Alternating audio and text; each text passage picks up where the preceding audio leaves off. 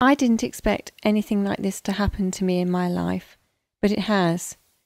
Living with Parkinson's disease has been a new experience, and I want to share that with you in a series of short films. Words fall like lightning bolts from clouds in your mind.